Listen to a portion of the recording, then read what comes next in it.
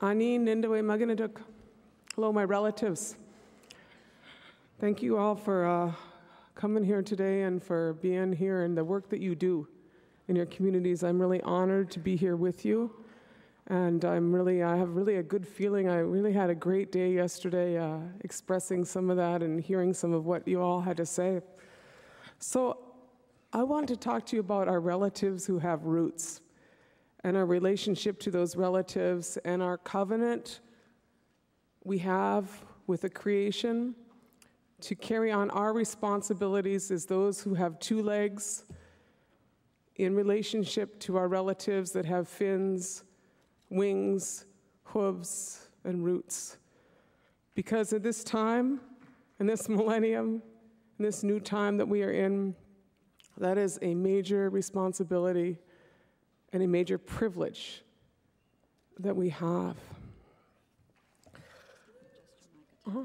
Oh, okay. I'm still here. Um, I come from this area known as Anishinaabe-Yaking, the land which belongs to the people, which is the Great Lakes area, and it's where our Anishinaabe people live. And a long, long time ago, these prophets came to our Anishinaabe people, and they said that this time we lived on the eastern seaboard near our relatives, the Wampanoags and the Abenakis. And they said, You must move to the west or you'll perish. That's what they said to our people, which was true and you must move. And they instructed us where we must move, and they instructed us that we must move to the place where the food grows upon the water. That's where we were instructed to move to. And that was wild rice, or manoomin, our most sacred food. It wasn't water lilies or something like that. It was wild rice. That's where we were instructed to go to. And so we have this food, manoomin, which means the, the most wondrous seed the most wondrous food that is a part of our migration story and is very much a central part of our culture as Anishinaabe people. We have cared for those rice beds. We have cared for our lakes and rivers for as long as we have been in Anishinaabe-King, as long as the Creator has placed us here. And we feel very good about our relationship to our place. But what happened to us is what happened to a lot of other people. We're doing pretty good. And then these anthropologists came to see us. That's how a lot of bad stories start, I have to say. And first they came out and they measured our heads and they scratched our skin and they measured across our noses and they're trying to figure out how indigenous people would fit into the construct of uh, physical anthropology and white superiority. You know, it was really a bad era in uh, anthropology, I'll tell you that.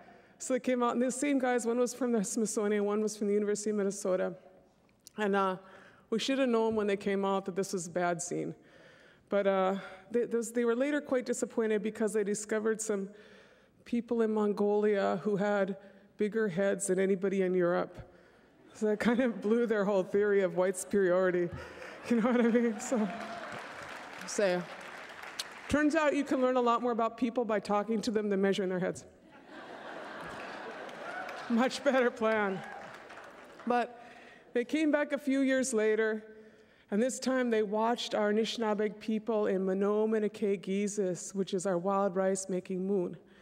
This moon uh, was followed by Watbaga Gizis, and right now we're entering Gashkadno Gizis, and we have our Gichimanadu Gizis our, our moons, all of our moons, and my favorite, personal favorite is Anabanagizis.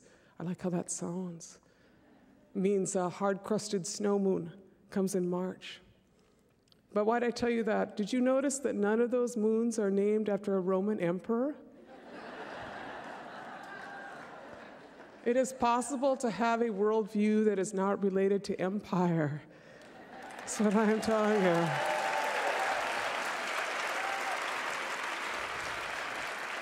And that's very important for where we need to be going. So uh, they observed us. And what we do is in that moon, we go out on the lake and we put our, our tobacco out as our offering of thanks for this manoomin, this wild rice that grows on our lakes and rivers. And we push our canoes out on the lakes and One person sits in front and pulls these sticks that look kind of like drumsticks, but they're both this long, made of cedar. And the second person, um, that's how we knock rice, and the second person pulls with a long pole through the rice beds. And we go out and we harvest hundreds of pounds of wild rice like that. And then we quit in the afternoon and we come in and we lay our rice out so that it uh, can dry. And then we parch it over a fire for a couple hours and uh, we dance on the rice like the grape thing, you know, to separate the hulls from the, from the rice. Or then now sometimes we use a little, little thing that's run by a tractor motor because we're intermediate technology people. And then uh, after that, we winnow it with a new scotch Scotchenog in a basket or else a fanning mill. And uh, we always have a big feast and a Thanksgiving. And that is how our wild rice harvest is a very significant part of our culture and our community. And these anthropologists witnessed us, and what they noted is that we quit harvesting partway through the day, and then we danced and celebrated our rice harvest. And they were very upset with this and basically said, we were never going to become fully civilized people because we didn't work the way they wanted us to work. And so they refer to this as an Ojibwe Mardi Gras, an early Christmas, and we're very disappointed in our ability to be productive. And that is kind of the onset of industrialized agriculture, as that kind of thinking. And so it took them about 40 years to figure out how to botch it up, but that's what they did. They figured out how to grow rice in rice paddies in northern Minnesota using chemicals and fertilizers, and then draining it and harvesting it with a combine and calling that progress. And for us, this was very devastating because we had specific instructions on our wild rice. And we also have specific instructions on how we're supposed to care for our rice. It was devastating to us also because our communities historically relied on rice as our major trade item. When I visit other indigenous people, they say, Where's the rice, Winona? You know, they want to know because we are known. We've traded our rice for all these years, and it's a major source of our economy. My reservation, every statistic you don't want to have, we have. Economically, we're the poorest people in the state of Minnesota, but we have millions of pounds of wild rice on our lakes. And so it turns out two Indians in a canoe cannot compete with a guy on a combine. You know, and Minnesota was very big, created the paddy rice industry, was so pleased with itself for having created this paddy rice industry, declared it the state great in 1977. Only a few years later, it shows where greed gets you. Who became the largest wild rice producing state in the country? California. There you go. Three quarters of all wild rice, which is on the shelf today, is coming from diked rice paddies in Northern California using chemicals and fertilizers. It is marketed as wild rice. So we began fighting this in the 80s. My parents met because my father was selling wild rice. Our whole family riced. All of our people in our community riced, you know, but we could not compete. And so in the mid 80s, we sued Anheuser-Busch because they had two Indians in a canoe on a label called Onamia Wild Rice that was rice coming from California rice paddies and they got to sell it as wild rice. And we feel like wild should mean something. You know?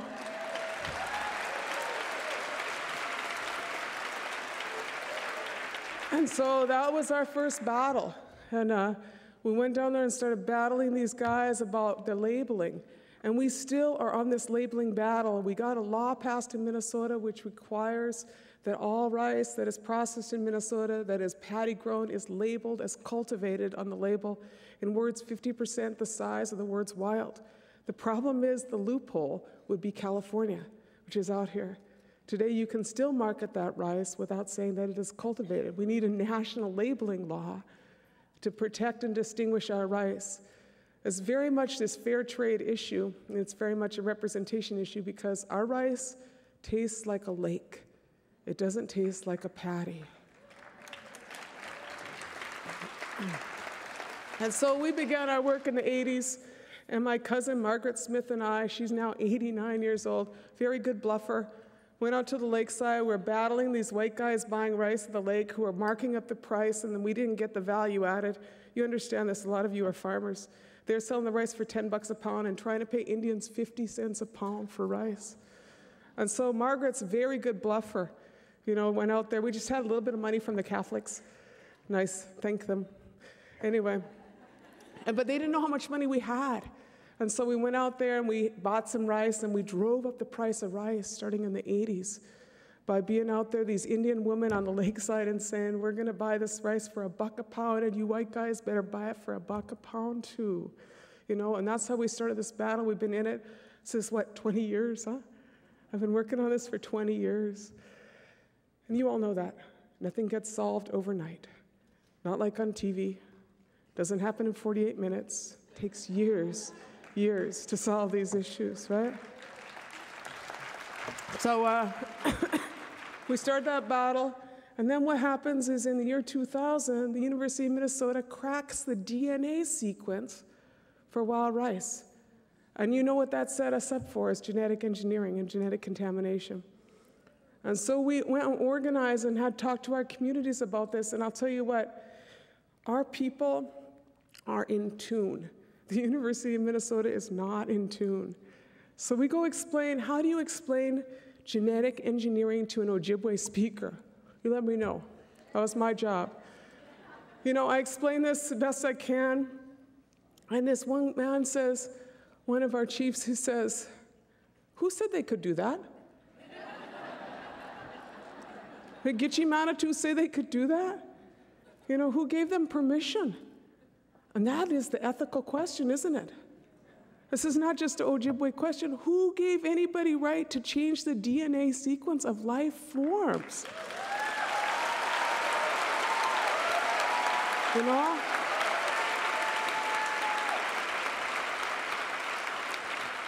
And so we go back and we start this battle, and the University of Minnesota hides behind the cloak of academic freedom and says that we are challenging their academic freedom. And we said, what about academic responsibility?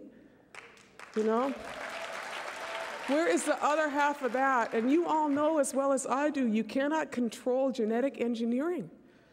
You release that in a text test plot, those plants aren't sterile. Plants have sex. Grow up, buddy.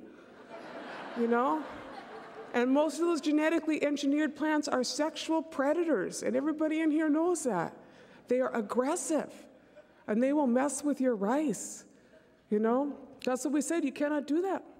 And so we start, they treat us badly, put us committee to committee. We finally end up at the state legislature of Minnesota three years ago, first year at the legislature. We go down and testify at the state legislature, and this is what it is like, and you know this is the case. I'm a pretty educated person, you know, but I go down there and educate to, to the state legislature, and it is me and three white guy professors to talk because they do not want to hear from four Native people at the legislature because they will marginalize us, they will treat us as if we are emotional and cultural and do not have the same standing as those guys with PhD. And I just want to tell you that because that is the dynamics of this country. We are still treated as second class citizens when we go and testify, you know? So we testify there we fight these guys, and who wants to guess the first opposition witness out of the gate? Monsanto, exactly. First opposition witness out of the gate is Monsanto. Says this is going to send a chilling message to the biotech industry. you know? Second witness is University of Minnesota says what Ms. LaDuke and the Ojibways are proposing is going to thwart the university's ability to combat bioterrorism. We didn't say they couldn't work on anthrax and botulism. We just said they couldn't genetically engineer wild rice. You know, that's our battle. Three years at the legislature, this, this year, we got a law passed in Minnesota. The law passed ensures that they have to have an EIS and a full disclosure for any proposed genetic engineering of wild rice. That's what it ensures, right? and a full report on the impact on wild rice. I tell you this of, of every possible threat that's on wild rice, we're working on it right now. I'll tell you this because that's a three year battle. We're not yet done. But that battle politicized me as to these issues. I didn't understand what, what seed slavery was until I met up with Monsanto. And then I understood Percy Schmeiser, and I understood the hundreds of thousands of farmers from India who are committing suicide because they do not have access to their seeds. And I understood why we had to ensure that they did not patent our rice and they didn't own it, you know? And then I began to understand this issue of this genetic engineering. And so we as Indigenous people have formed this Indigenous Seed Sovereignty Coalition. And with us is, is the taro farmers of Hawaii who are saying taro is our older brother. It is our relative, and you cannot genetically engineer and you cannot patent taro. You cannot patent our relative. Uh, very important. The University of Hawaii tore up the patents on taro two years ago. Uh, but I know a lot of you vacation in Hawaii. I'm on to that. 3,000 open air GE experiments in Hawaii because it's so far from the mainland, and the biotech industry owns Hawaii. So we are going back to the legislature this year in Hawaii, trying to get the same protection for taro as we have for wild rice.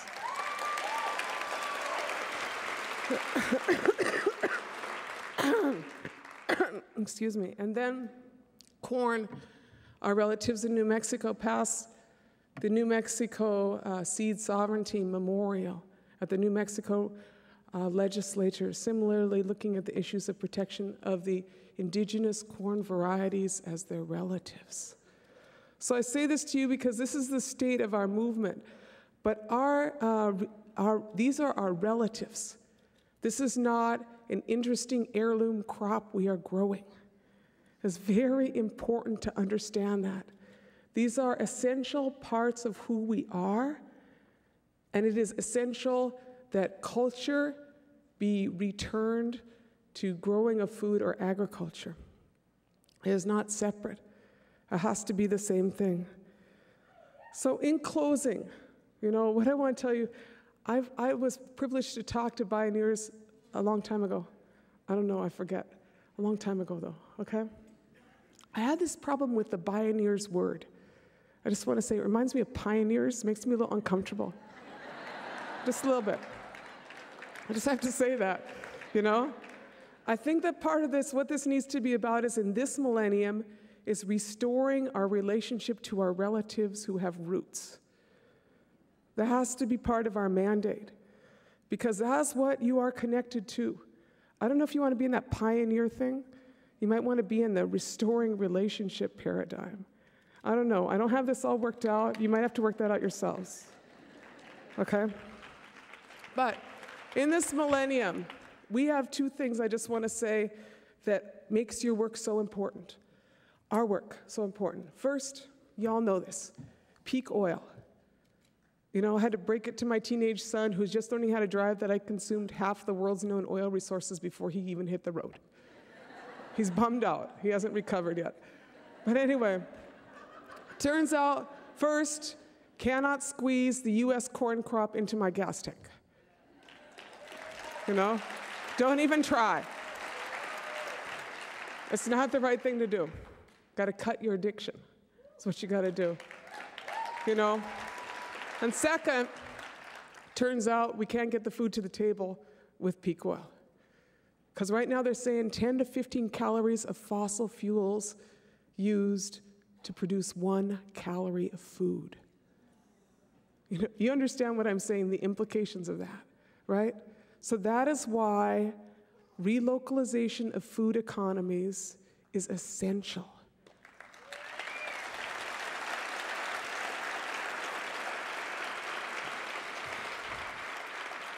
That's what we are doing, but these, and to do that, second, you have to fight for the water.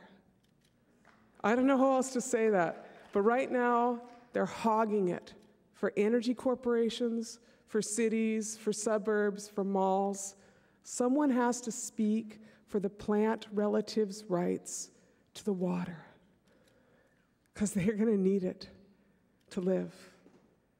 Third, I want to say our traditional foods that we are growing out, we have our rice, but we're restoring our, our, our pumpkins, our squash, our beans, our corn varieties. Those really old varieties have something in them that is very important. First, almost every one of those heritage indigenous varieties is much higher in antioxidants, fiber, um, amino acids than anything you can buy at the store. I don't know how they bred all that stuff out when they created industrialized food, but that's what they did. Those foods are medicine. You have to remember that and you have to treat them like that and you have to grow those foods because those are the foods that are going to heal us from the problems we have for, that are food related, right? I'm saying that's really important to not forget. And second, those foods like our corn, we have some little short guy corn I got from a, a I got it from a seed bank. I got a handful like this about five years ago. Now we got five acres of it. This little guys, they're called Bear Island Flint. But those guys, they grow about this tall and they have great big corn on them. They don't spend time getting big. But why did I tell you that about them? Because those guys are the guys that are going to make it through climate destabilization. You understand what I'm saying? Is that those old bio, biologically diverse seed stocks have the ability to adapt that absolutely there is no sim- similar ability in a hybrid or anything owned by Monsanto. That's what you have to remember in this work that we're doing. If we want to feed our people, we got to go back to those original guys those original relatives. My father passed away about uh, 15 years ago. But he used to say, and I, I don't know if I ever really got it until about a year ago, he used to say, I don't want to hear your philosophy unless it grows corn. Isn't that an interesting thing? And it took me this long to figure out what he was talking about. You know, we are all in the richest and most powerful country of the world, and we were all products and colonized by the petroleum era. We have a lot of things that we think about and do that have nothing relation in, to, related to our sustainability and recovering these relationships with our relatives. And so, you know, you are all a really smart and in touch decolonizing, I'm praying on that one, bunch of people out here. And, you know, my dad was right. My dad was right. We got to think about what it is that we are doing that is going to sustain our relations to our relatives, whether they have wings or whether they have fins or whether they have roots, because that's how we're going to make a path that we're going to survive on in this next millennium. Miigwech meet you. I want to thank you for your time and really wish you the best in your work. Good.